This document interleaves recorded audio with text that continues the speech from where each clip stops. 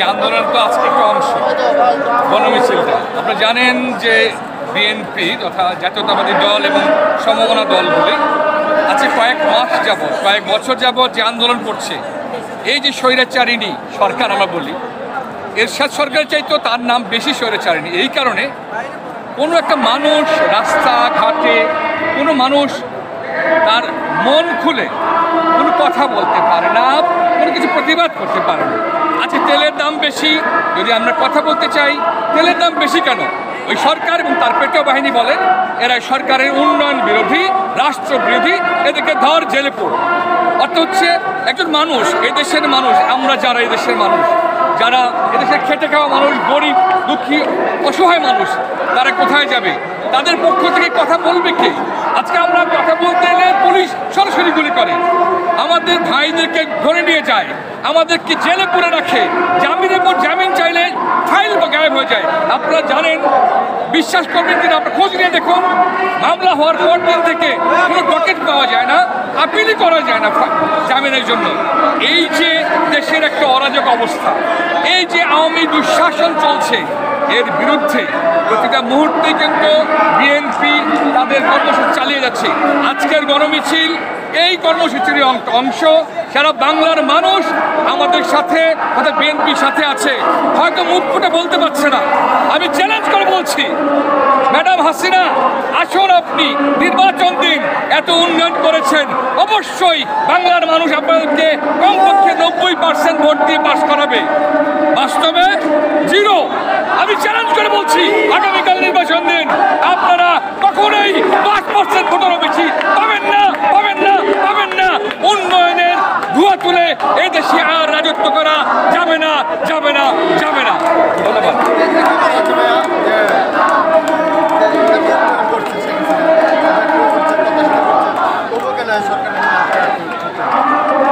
ছোট্ট একটা কথা বলে একটা স্বর্ণ নির্মিত খাঁচায় আকাশের একটা পাখিকে বন্দি করে রাখেন। প্রতিদিন তাকে চারবেলা খাবার দেন, অনেক ট্রেনিং দেন, সে একটা সময় কিন্তু চাইবে এখান থেকে মুক্ত হতে। তাকে স্বর্ণ নির্মিত খাঁচায় বন্দি করে রাখতে চাইলেও পাখি কিন্তু মুক্ত হতে চাইবে। অর্থাৎ যদি গণতন্ত্রকে ধ্বংস করি মানুষের মুখ বন্ধ করে, মানুষের বুকে বন্দুক চালিয়ে আপনারা উন্নয়ন করছেন। কিসের উন্নয়ন? বড় বড় ব্রিজ, কালভার্ট এটাকে উন্নয়ন বলে না। উন্নয়নে আসেন। আজকে মানুষ কথা বলতে পারে না। আজকে অর্থনীতি ধ্বংস। ব্যাংকের থেকে হাজার হাজার কোটি ডলার পাচার হয়ে যাচ্ছে। আপনাদের মরহুম রাবিশ মন্ত্রী বলেছেন, চার হাজার কোটি টাকা। টাকা হলো আপনাদের কাছে চার হাজার কোটি টাকা। টাকা নয়।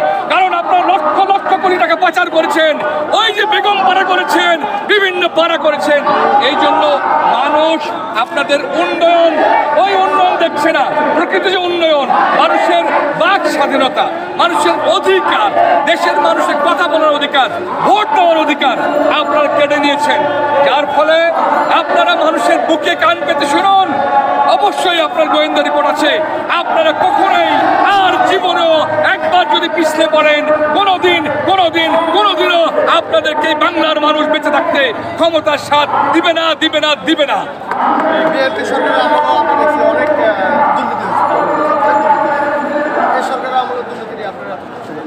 আসলে ডিজিটাল যুগ তো আপনারা আমরা দুর্নীতি চোখে দেখি না। এরা আপনারা যারা সাংবাদিক, আপনারা দুর্নীতি দেখেন না? পদ্মা সেতু বিশ হাজার কোটি টাকা দিয়ে শুরু হয়েছে। কত হাজার কোটি টাকা শেষ হয়েছে? প্রত্যেকটা উন্নয়নের যে প্রপাকাণ্ডা চালাচ্ছে, এক একটা প্রজেক্টের পিছনে কত হাজার কোটি টাকা বেশি নিচ্ছে? আমার টাকা, আপনার টাকা, এদেশের মানুষের টাকা, জনগণের টাকা প্রতিটা রিক্সাওয়ালার মাথার ঘাম ঝরা টাকা, আপনারা পাচার করছেন। দুর্নীতি রন্ধ্রে রন্ধ্রে চলে গেছে। আজকে যারা নৌকা মার্কা করে, আমাদের মহল্লার ফকির ফাঁকটা যেগুলো ছিল, রিক্সা চালিয়ে খেত। সেই সমস্ত লোক এখন ফ্ল্যাট, বাড়ি, গাড়ি কীভাবে হলো? আপনারা জবাব দেন, আমি জবাব জানতে চাই। কীভাবে ফকির নিপোলা টাকার মালিক হয়? এই জন্য দুর্নীতি যারা চোখে দেখে না, তাদেরকে চোখে আঙ্গুল দিয়ে দেখতে চাই। আশেপাশে তাকান আশেপাশে তাকান। যেই সমস্ত লোক না খেয়ে থাকতো, আজকে তারা বাড়ি গাড়ির মালিক। এলাকায় তারা স্বনাম ধন্য তাদের দাপট কিসের থেকে। কারণ তারা আওয়ামী শক্তি।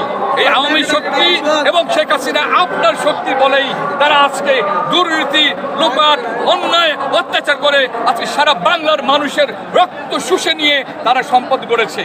এদেশে রাখতে পারছে না, চলে যাচ্ছে বিদেশ, বিভিন্ন দেশে পাড়া মারাচ্ছে, মহল্লা বানাচ্ছে। আমরা যদি বলি, পাড়া কাকে বলে জানেন? একটা খারাপ এলাকাকে পাড়া বলে। আর ওরা বিদেশের বুকে আজকে বাংলার দেশ থেকে তারা অসম্মান করেছে পাড়া নাম দিয়েছে বেগম পাড়া এই পাড়া সেই পাড়া সেই ধিক্কার জানাই সেই সময় সম্পদ ওলাদেরকে আপনি শেখ হাসিনা পারবেন তাদেরকে ধরে আনতে? বড় বড় কথা বলছেন আমরা এই করব সেই করব। একটা একটা লোককে আনেন নিয়ে আসেন এই দেশে ওই সম্পদ সহ। তাহলে বুঝতে পারব যে আপনি দুর্নীতির বিরুদ্ধে বিরত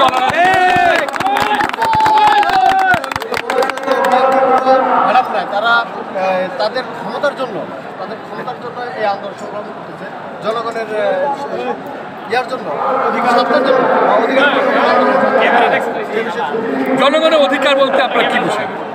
আপনি তো গণতন্ত্রের বলেন আমি গণতন্ত্রের কন্যা। আমার আপনার বাবা গণতন্ত্র মনে ছিলেন গণতন্ত্র বলতে কি বুঝেন? জনগণের অধিকার বলতে কি বুঝেন? জনগণের অধিকার শুধু টেলিভিশনে বড় বড় সাইনবোর্ডে দিয়ে দিবেন আমরা এই করেছি, হুক্কা হুয়া। আমি যা বলে করেছি, তুমি শুধু এই জিকির করো জিকির করো।